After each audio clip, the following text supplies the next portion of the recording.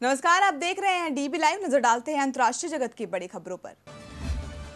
सीमा विवाद को सुलझाने के लिए भारत और चीन ने बढ़ाए कदम। बातचीत के ज़रिए निकाला जाएगा हल। एनएसए अजीत डोभाल और यांग जीची ने सालाना वार्ता के दौरान किया फैसला।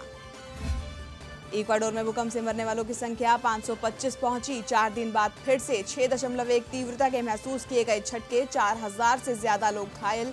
231 लोग लापता।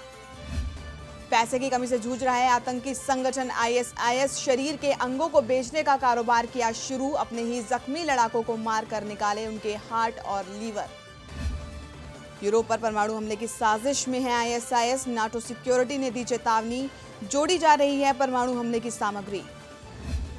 विश्व स्वास्थ्य संगठन ने यूरोप के मलेरिया मुक्त होने की घोषणा की। डब्ल्यूएचओ के निदेशक सुत्साना जैकब ने कहा, यूरोप के स्वास्थ्य इतिहास के लिए यह मील का पत्थर 2015 में मलेरिया का एक भी केस दर्ज नहीं।